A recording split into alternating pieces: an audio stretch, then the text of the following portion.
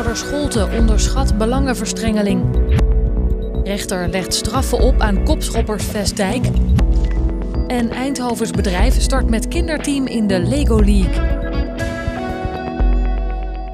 Het is niet verdampt, er is niet niks gebeurd. Er zijn 27 mensen aan het werk geholpen. Er is nog niemand gelukt hier in de stad. Dus dat onderscheid, dus de uitspraken over dat het geld zomaar verdampt is, daar wil ik echt afstand van nemen.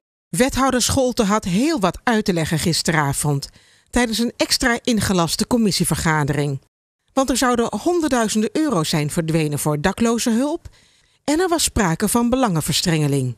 De gemeente had ruim 6 ton uitgetrokken om daklozen naar werk te begeleiden. Stichting De Boei zou die opdracht uitvoeren, maar besteedde dat werk uit aan bureau Andersom uit Limburg. Daar ging het mis toen het bureau financiële moeilijkheden kreeg. Er is nu nog anderhalve ton over. En de vraag die rijst is dan natuurlijk: waar is het geld en hoe is dat geld besteed? Het gaat over veel geld, het gaat over een eh, kwetsbare doelgroep en het gaat eh, mogelijk ook om, om, om, om integriteit. Uh, ja, dat zijn hele belangrijke zaken, ook voor mijn partij. We weten niet of in hoeverre er van die 400, 4,5 ton die bureau andersom heeft gekregen voor al het werk wat ze ook gedaan hebben, hè, of daar ook een deeltje bij zit wat aan andere dingen is besteed. We weten het niet. Stichting De Boei had het werk dus uitbesteed aan bureau Andersom.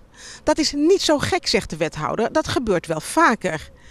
Maar toch was er veel kritiek uiteraard. En vooral omdat de twee mensen die bureau Andersom leiden, oud-werknemers zijn van de gemeente Eindhoven. Dat deed veel stof opwaaien. Je ziet wel dat het uh, op dit moment uh, de media flink bezighoudt. Dus volgens mij kan ik niet ontkennen dat de schijn er niet is. Nee, de schijn is er, uh, is er wel degelijk. En dat is heel betreurenswaardig. Want uiteindelijk gaat het om de doelgroep waar je de goede dingen voor wil doen. En ja, dit overschaduwt dat nu. Als iemand bij wijze van spreken aan tafel zit, op hetzelfde dossier zit als waar zijn BV'tje over gaat, dat, dat die verhouding niet goed zijn. Dit had nooit gemogen, deze constructie? Nee, dat had nooit, dat had nooit gemogen.